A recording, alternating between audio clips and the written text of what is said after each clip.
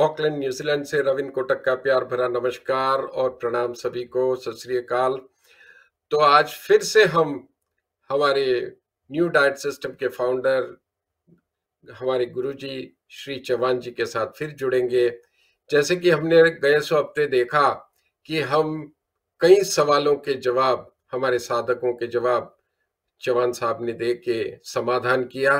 बस आज उसी को आगे बढ़ाते हुए हम और कुछ सवालों की जड़ी लेके हमारे चौहान जी के पास पहुँचेंगे आपके प्रश्न और उनके जवाब, जिससे आपको न्यू डाइट सिस्टम का पूरा ज्ञान हो जाए और आप उसको अच्छे से साधना कर सको। यही हमारा उसके पीछे का मकसद है। और हम चाहते हैं कि भाई ये प्रोग्राम द्वारा सभी लोग न्यू डाइट सिस्टम की ओर आकर्षित हो रहे हैं और यही हमारा ध्येय है कि चौहान साहब भी यही चाहते हैं कि पूरा विश्व रोग मुक्त और दवा मुक्त हो जाए। यही कोशिश हमारी छोटी इस कार्यक्रम के द्वारा हो रही है। तो चलिए हम हमारे गुरुजी श्रद्धेय श्री चौहान जी का इस प्रोग्राम में फिर से स्वागत करते हैं। चौहान जी बहुत बहुत नमस्कार आपको। प्रणाम। चौहान जी अब जैसो गए सो हफ़्ते हमने आपसे कई सवालों के जवाब लिए तो आज और कुछ प्रश्न लेके हम आए हैं आपके सामने। हमारे साधक जैसे जैसे प्रश्न कर रहे मैं आपको, आपके सामने पेश कर रहा हूँ, ताकि उनको संतोष मिले कि गुरु जी के मुख से उनको समाधान सुनने को मिला। तो अब ये अगला प्रश्न ये है चौहान जी, कि किडनी की डायलिसिस कई साधकों को हो रही है। अब साधक जब डायलिसिस पे होता है तो एनिमा करने में डरता है। क्योंकि खाने में या फिर रसाहार करना है, तभी उसको डर लगता है कि किडनी पे ज़्यादा ज़ोर पड़ रहा है। एनिमा से भी किडनी पे ज़ोर पड़ता है, ऐसा उनका मानना है। तो ऐसी स्थिति में उनको कैसे करना चाहिए न्यू डाइट सिस्टम और इससे क्या परिणाम मिल सकता है, ये थोड़ा विस्तार में हमारे साधक को बताइए प्लीज़ ये भी तो बहुत अच्छा सवाल है क्योंकि आम समस्या बन गई हो किडनी डिज़ीज़ ये सारे विश्व में। बहुत सारे लोग इससे परेशान हैं। डायलिसिस पे भी बहुत सारे लोग हैं। वो क्यू में रहना पड़ता है नंबर नहीं लगता। खर्च भी होता है समय भी जाता है खुद का समय जाता है परिवार के लोगों का जाता है। तो जी। डायलिसिस यहाँ एनडीएस फॉलो करके बहुत सारे लोगों ने अपने डायलिसिस बंद कर दिए हैं या तो बंद हो चुके हैं। डॉक्टरों ने ही बंद कर दिया है। एक मैं एक्सट्रीम केस दूँगा। बाकी तो बहुत सारे केसेस हैं। जी। हाँ जी। एक्सट्रीम केस जो है ये ऐसा है कि महाराष्ट्र में रत्नागिरी हाँ डिस्ट्रिक्ट में दापोली हाँ। में जी। एक कांतिभाई पटेल करके उमर लायक व्यक्ति थे बुज़ुर्ग थे। हाँ जी। तो उनको डायबिटीज़ हो गया दवाई चलते चलते थोड़ी डायलिसिस पे आ गए क्रिएटिनिन बढ़ता गया। और वो बॉम्बे की ख्यातनाम हॉस्पिटल में ट्रीटमेंट ले रहे थे। दवाइयाँ चलती थी डायलिसिस भी चलता था फिर भी क्रिएटिनाइन बढ़ता था। डायलिसिस की फ्रीक्वेंसी जो हफ़्ते में दो बार थी वो हफ़्ते में तीन हाँ। बार कर दी गई। दवाइयाँ बढ़ी अच्छा। बढ़ाई गई।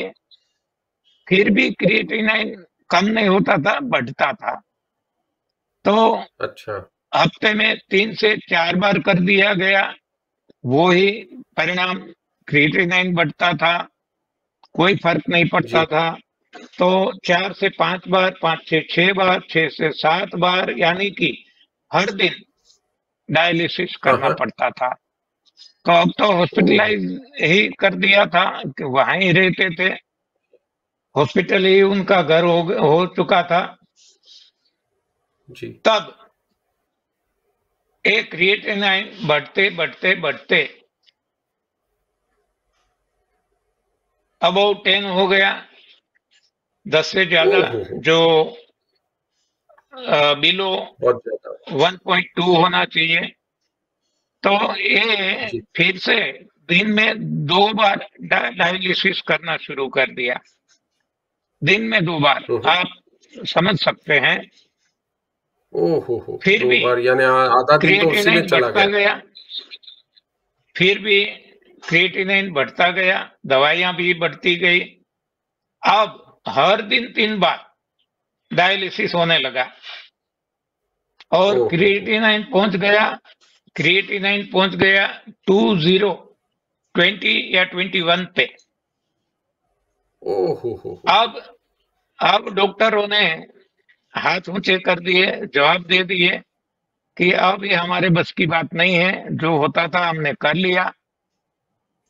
अब आप घर ले ले जाओ और सेवा करो। अच्छा। तब ये घर पे दिन में तीन बार डायलिसिस चलता था। घर के हम्म, सारे परिवार के सारे सदस्य वो जी। डायलिसिस देने के एक्सपर्ट हो गए। छोटे बच्चे भी लेडीज़ भी हर कोई। और हाँ। कोई। अच्छा। हाँ अच्छे या बुरे प्रसंग पे कहीं सामाजिक सोशल वो इसमें नहीं जा सकते थे। क्योंकि दिन में तीन बार डायलिसिस करवाना तीन है। बार हाँ वो हिल ही नहीं सकते तो- वहाँ से बरोबर है। हाँ तो ये अब उसके पास डॉक्टरों ने तो जवाब दे दिया था पेशेंट खुद कहता था कि अब मैं ज़्यादा दिन जीने वाला नहीं हूँ। तो अभी हाँ, मुझे कोई ऐसी दवा दे दो जहर दे दो कि क्योंकि ये मुझसे सहन नहीं हो पा रहा है। उस वक्त उनको पता चला किसी ने बताया कि एनडीएस फॉलो करने से करके देखो आपके जैसा केस तो कोई नहीं होगा करके देखो तो पता चले। तो उन्होंने कालू भाई से कांटेक्ट किया कालू भाई सावलिया सूरत कालू भाई उधर गए समझाया। तो हाँ। उन्होंने असमर्थता दिखाई कि हम यहाँ किसी के गाइडेंस में करे तो ठीक है लेकिन यहाँ तो कोई गाइड करने वाला नहीं है। तो ये कांति भाई की बेटी और दामाद वो सूरत रहते हैं। उन्होंने आ, बताया कि आप हमारे घर पे आ जाओ और सूरत में कालू भाई है। तो वैसा हुआ। और ये कालू भाई ने जैसे बताया केवल रसाहार पे रहने का एनिमा लेने का हाँ, और हाँ, रसाहार में भी ज़्यादा से ज़्यादा ग्रीन जूस तो इसमें शायद एक ही महीना हुआ होगा जो कई सालों से ये ट्रीटमेंट चलती थी। एक महीना में ये रिवर्स हो गया। सारी दवाइयाँ बंद हो गई। क्रिएटिन क्रिएटिनाइन वन पे आ गया और वो बात है? एक महीने में अपने परिवार में एक महीने में। और अपने परिवार में सभी जगह घूमने लगे। अपने साथ वो एनिमा पोर्ट ले जा लेके जाते थे। हमारी किताबें भी साथ में रखते थे छन्ना रखते थे।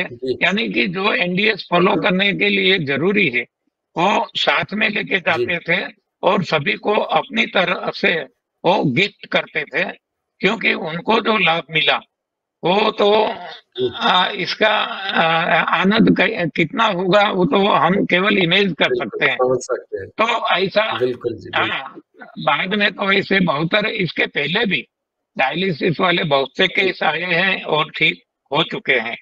तो घबराने की ज़रूरत नहीं है। विगरसली श्रद्धा और विश्वास के साथ फॉलो करने से चाहे डायलिसिस हो चाहे डायबिटीज़ हो चाहे कैंसर हो आ, हर कोई रोगों में फ़ायदा हो सकता है क्योंकि यहाँ रोग की कोई ट्रीटमेंट नहीं की जाती। यहाँ केवल है डिटॉक्सिफिकेशन क्योंकि इम्प्यूरिटी की वजह से अशुद्धियों के कारण ये रोग होते हैं। तो ये अशुद्धि को ही निकाल देना है और ये भी इतना सरल है। जो आप सब जानते हैं तो ये किस्सा मैंने आपको सुनाया जिससे आपको पता चल जाएगा कि कितना आ, कैसा भी गंभीर आ, रोग हो ये भी ठीक हो सकता है। बहुत ही बढ़िया। ये तो अनुभव वाकई सबकी आँखें खोल देगी जिस जिसको डायलिसिस करते होंगे। उनसे खास निवेदन कि एक बार अपना के देखिए न्यू डाइट सिस्टम और ये चमत्कारिक परिणाम आप भी देख सकते हैं। तो चौहान साहब इसमें जो डायलिसिस में आपने कहा एनिमा भी लेना चाहिए तो उसमें एनिमा की मात्रा कुछ कम करनी होती है या जो डेढ़ लीटर हम नॉर्मल लेते हैं वही लेना नहीं चाहिए नहीं इसमें तो क्या है? में भी कुछ कम लेना चाहिए? हाँ जी हाँ जी। जो नॉर्मली हम सभी को कहते हैं दिन में दो बार सुबह रात लेना है। लेकिन कोई हाँ ऐसा इमरजेंसी केस है जी। इतना सीरियस केस है कि जहाँ डॉक्टरों ने जवाब दे दिया है तो अब तो हाँ हमने भी आशा छोड़ दी है परिवार वालों ने भी आशा छोड़ दी है तो वहाँ तो दिन में तीन बार चार बार एनिमा दिया जाए तो अच्छा। जल्दी डिटॉक्सिफिकेशन होगा और जल्दी आराम अच्छा। मिलेगा। अच्छा तो उससे ये जो धारणा है कि किडनी पे ज़्यादा लोड पड़ेगा अगर ज़्यादा एनिमा लोगे तो ऐसा तो कुछ नहीं है ना? किडनी और एनिमा बड़ी आंत इसको कोई लेन देन नहीं है कोई रिलेशन नहीं। है इनडायरेक्टली रिलेशन भी नहीं है। तो ये सारे ऐसे बहुत सारे डिल्यूशन है। देखो एनिमा के बारे में एक ऐसी भी भ्रांति है कि प्रेग्नेंट लेडी को नहीं लेना चाहिए। क्योंकि इससे जो बच्चा है माँ के पेट में आ, तो इस पे दबाव आता है तो बच्चे के शरीर को नुकसान होता है सरासर झूठ है। ये हमने बहुत सारे प्रयोग किए हैं बहुत सारी प्रेग्नेंट अच्छा लेडीज़ ने। आ, जब से पता चला कि वो प्रेग्नेंट है त्या हाँ। तब से लेना शुरू कर दिया और डिलीवरी में भी लिया और डिलीवरी हाँ। बाद भी लेती है। और उनका बहुत अच्छा अनुभव है ऐसी बहुत सारी लेडीज़ का। तो ऐसी भ्रांतियाँ बहुत फैलाई गई है ये एलोपैथी मेडिकल साइंस के द्वारा। जी। तो यही काफ़ी लोग को ये होता है कि भाई किडनी की बीमारी है तो उसके ऊपर जूस और पानी का लोड ना डाले जिससे किडनी पे और ज़ोर पड़ेगा। ये सब भ्रांतियाँ हैं जो आज आपने आपके जवाब के माध्यम से सबको ये समाधान किया इस भ्रांति है देखो। पचने में जो बारी है आगे एक और एक सवाल जो ये आता है। है बहुत ही कॉमन सवाल है चौहान जी कि रसाहार जब करता है बंदा या साधक जो भी तो उनको नेचुरल कॉल नहीं आती है। ये काफ़ी साधकों का ये प्रश्न होता है तो इससे वो घबरा जाते हैं कि हमारा नेचुरल कॉल बंद हो गया तो इससे हम क्या करें और ये क्यों होता है ये थोड़ा आप उनको विस्तार में बताइए प्लीज़ हाँ जी ये भी तो अच्छा सवाल है। जनरली हम सभी को कहते हैं कि जब भी आप रसार करते हैं निर्जल उपवास या तो रसार तब एनिमा अवश्य लीजिए। तो जब एनिमा लेते जी। हैं तो बिफोर जो हमें टॉयलेट का सिग्नल आता है इसके पहले तो हम इसको निकाल देते हैं तो कभी आने वाला नहीं है। तो ये ना आए वो ही सही है। हाँ है जब तक एनिमा चलेगा जब तक एनिमा चलेगा नेचुरल कोल कभी नहीं आएगा और ना आना ज़रूरी है ना आना चाहिए वही तो सही है। लेकिन लोग अच्छा। घबरा जाते हैं। देखो आ, ये सभी के लिए है। है आज हमारी स्थिति कैसी हो गई है आज तो हम एनिमा नहीं लेते कई सालों से बिल्कुल ज़रूरत नहीं है तो आज हम जैसे ही आ, खा लेते हैं हाँ जैसे खाना पूरा होता है तो टेबल डाइनिंग टेबल हाँ डाइनिंग टेबल तो हम हाँ नहीं रखते लेकिन कहने के लिए प्रास के लिए टेबल टू टॉयलेट तुरंत टॉयलेट जाना पड़ता है तुरंत। जी। तो दिन में दो बार खाए दो बार जाना पड़ता है। तो अब इतना वो आ, क्या कहें सफ़ाई हो जाती है पेट की अच्छी तरह से कि लगता है मज़ा आ गया। तो ये ऐसी स्थिति अपने आप शरीर के आ जाएगी, लेकिन लंबे समय तक सही ढंग से एनडीएस फॉलो करेंगे तो। बिल्कुल जी। नहीं, बहुत ही बढ़िया रहा ये आपका। और एक ये मैं जब शिविर में आया था आपके पास जब पहली बार यहाँ से मैं न्यू डाइट सिस्टम करने के बाद आपके शिविर में जुड़ा था हाँ।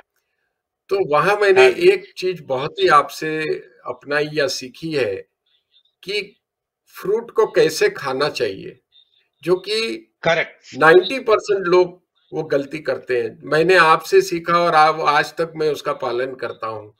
आप ग्रेप्स खाते हाँ थे तो कैसे खाते थे, यही आप हमारे दर्शकों को समझाइए कि क्यों ऐसा खाना है, क्योंकि भ्रांति ये है कि फ्रूट की छिलके में जो है फाइबर होता है और वो फाइबर को लेना चाहिए, ये हमारी सबकी बिलीफ होती है। लेकिन आपने वो भ्रांति को भी तोड़ा था ये शिविर में और मैं आज तक उसको फॉलो करते आ रहा हूँ। तो यही आप अनुभव हमारे दर्शकों को भी बताइए ताकि वो सब भी चेंज करके वो भ्रांति में से बाहर आ जाए। हाँ जी। ये भी सवाल अच्छा है क्योंकि जैसी बहुत सारी भ्रांतियाँ हमारी पढ़ाई में एजुकेशन सिस्टम ने हमारे विज्ञान ने मानव समाज हाँ में भर दी है इसमें से एक भ्रांति यह है कि फाइबर ज़रूरी है फाइबर खाना चाहिए। क्यों ज़रूरी है? तो वहाँ कहा जाता है कि इससे बड़ी आंत की सफ़ाई अच्छी होती है। हाँ और हम कभी सोचते भी नहीं उस पर और मान लेते हैं ये हमारी गलती है। हमें सोचना चाहिए हमें भी भगवान ने आ, बुद्धि दी है मन दिया है तो हमें भी अपनी बुद्धि का प्रयोग करना चाहिए लेकिन हम नहीं करते। जो साइंटिस्ट ने बताया सही। जो धर्म गुरु ने बताया सही। हाँ? तो ये, ऐसा नहीं है। हाँ यहाँ वो सूत्र की अजमाइश करनी चाहिए कि हम भी किसी से कम नहीं। हाँ? तो हमने खुद पे प्रयोग किया। क्यों किया? क्योंकि मुझे ये सब भीतर से आता है। हाँ? कहीं पढ़ा नहीं है पढ़ा उल्टा है। हाँ हमने ये पढ़ा था फाइबर खाना चाहिए फाइबर खाना चाहिए और हम फाइबर खाते थे तब तक कब्ज रही। जी। तब हमें अब ये लगा कि जो गन्ना है तो गन्ने में तो फाइबर ही है तो वो क्यों फाइबर हम पेट में नहीं डालते निकाल देते हैं? वहाँ तो केवल जूस लेते हैं। तो इससे मुझे पता चलने लगा कि जब फाइबर का स्वभाव है फांसना जब हम चबाते हैं फाइबर है तो वो दांत में फंस जाता है। तो हमारी जीभ और हमारा मन वहीं लगा रहता है जब तक इस फाइबर को हम ना हटा दें।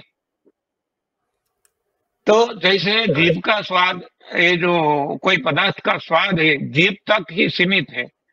गले के नीचे उतर जाएगा तो पता नहीं चलता। उसी तरह मुझे ये मालूम हुआ कि ये जो फाइबर फंसता है ये भी यहाँ दांत में मुँह में ही पता चलता है।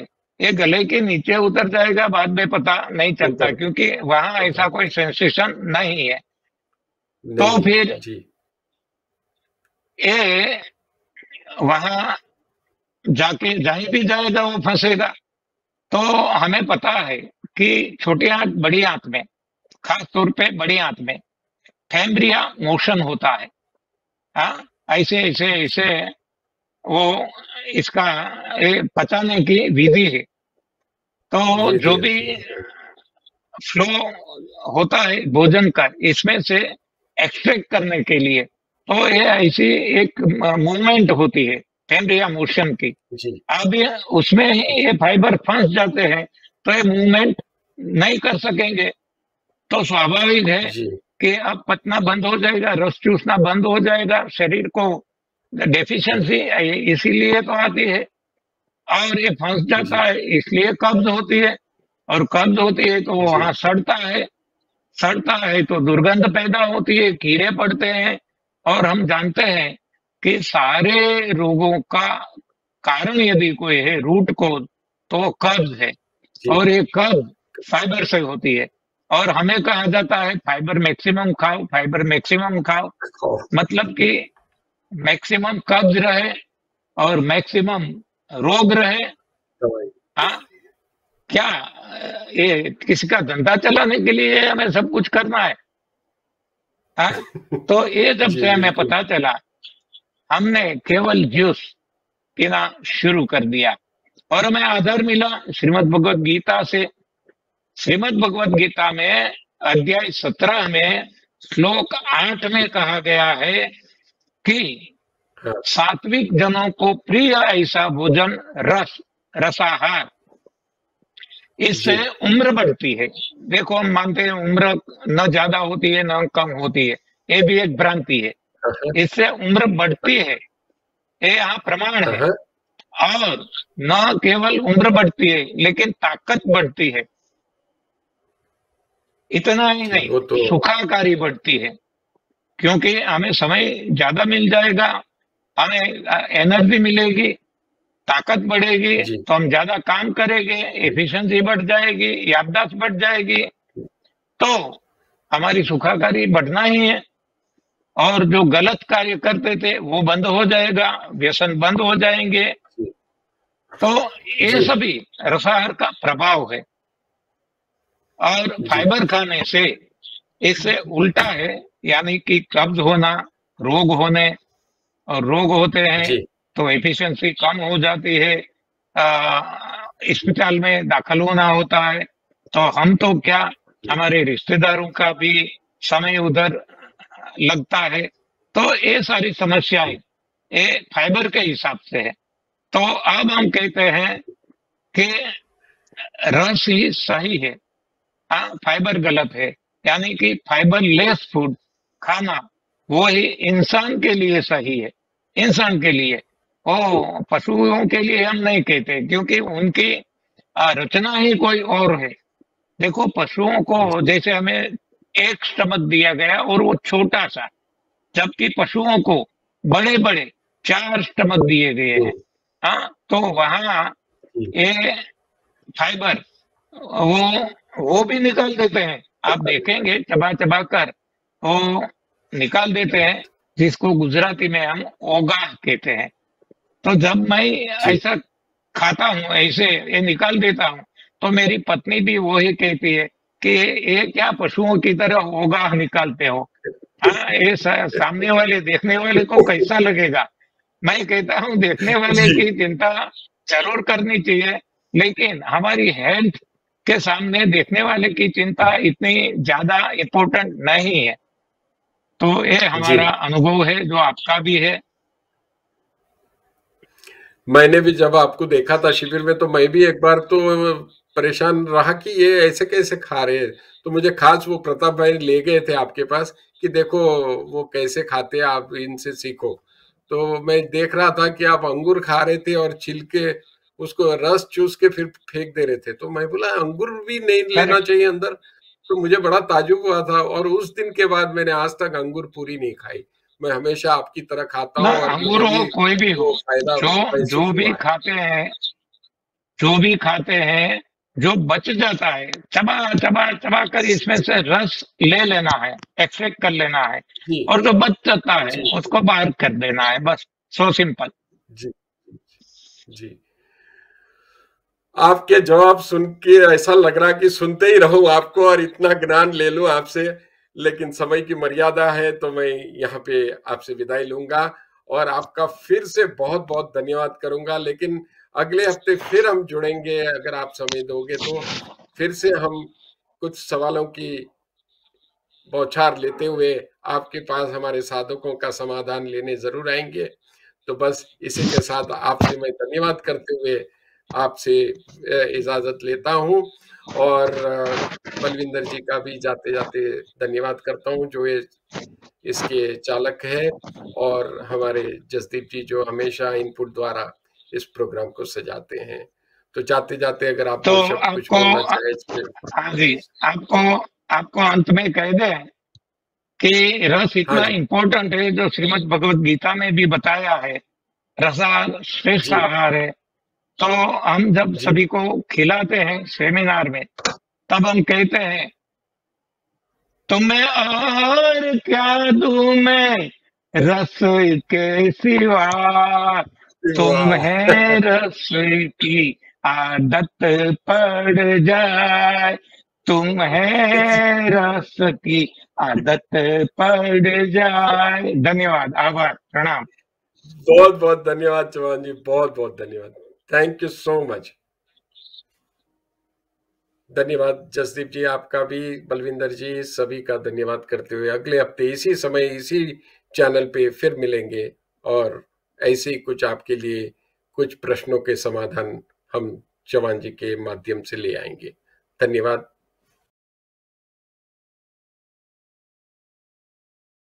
सारी ज़िंदगी दूसरों के लिए जीते जीते अपने बारे में सोचने का वक्त ही नहीं मिलता। खुद पे ध्यान दे सकें, खुद की भी फ़िक्र कर सकें, अपनी सेहत की फ़िक्र कर सकें। इसका कभी मौका ही नहीं मिलता। बस दवाइयों का बोझ लिए चलते जाते हैं। पर अब आपको ये दवाइयों का बोझ नहीं उठाना पड़ेगा।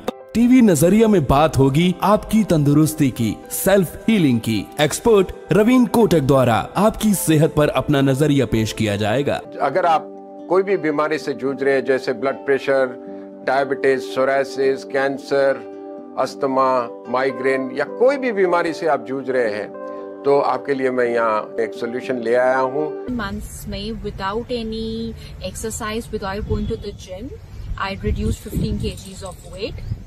और दूसरा बेनिफिट मेरे लिए ये था कि जो पीरियड पेन है मेरी वो बिल्कुल खत्म हो गई है। Um, तीसरा बेनिफिट ये था कि मेरा um, ये एनटीएस फॉलो करने से पहले बहुत हेयर लॉस होता था और इतने मेरे हेयर लॉस होता था कि I always use to go out of my house to comb my hair because if I would comb my hair in the house there would be hair all over the carpet which was very annoying very frustrating लेकिन अब मैं I can comb anywhere I like because there is no hair loss at all I have lost 14 kilos. 10 weeks हुआ है। और मैंने 11 kg loss किया है। My GP recommended me that I should follow Raveen Kotak's NDS. आज जो सुनने को मिला वो बहुत माइंड चेंजिंग है। I found it very inspirational. मैंने टू एंड हाफ़ मंथ से न्यू डाइट सिस्टम स्टार्ट किया। आई हैव लॉस्ट 13 केजी एक महीने में आपकी पूरी काया पलट हो जाएगी। धन्यवाद। ओनली ऑन टीवी नज़रिया के talk show Tandurusti the self healing में। बिना दवाइयों और बिना पैसों के परमानेंट समाधान।